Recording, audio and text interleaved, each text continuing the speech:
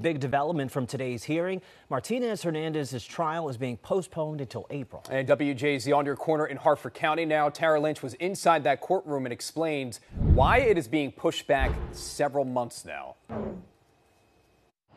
Rachel Morin's mother, Patty, sat front row as Victor Antonio Martinez Hernandez appeared in Harford County Circuit Court. She welled with emotion, seeing the man accused of killing her daughter for the first time in person.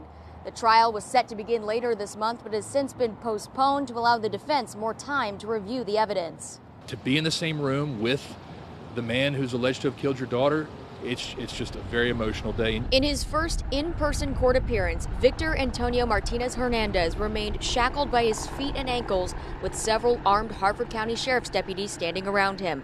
This was the first time Rachel Morin's mother, Patty, saw her daughter's alleged killer in person.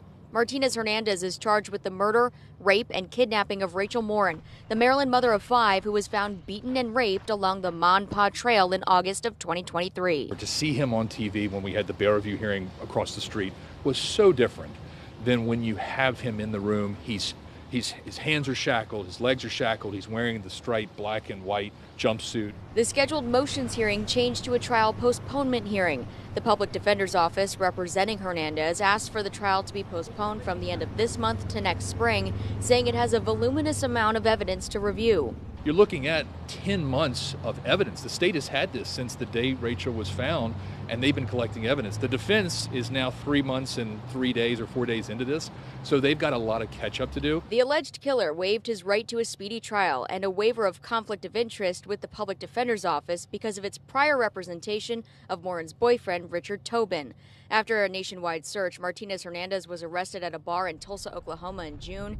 He was then brought back to Maryland to face the charges. Hernandez is from El Salvador and only speaks Spanish. He communicated through an interpreter, explaining he's under psychological care at the detention center and completed school through the seventh grade. Around December 1st, we're going to become grandparents. Matthew McMahon is the father of Morin's eldest daughter. He was also in court today. Rachel just didn't deserve this. Um, we shouldn't have to be here. Um, but at the end of the day, it's a good day because this is a day for justice for Rachel. Attorneys will meet for a few pre-trial hearings. According to the judge, the trial now set to begin April 1st, 2025. For now, reporting in Harford County, Tara Lynch, WJZ.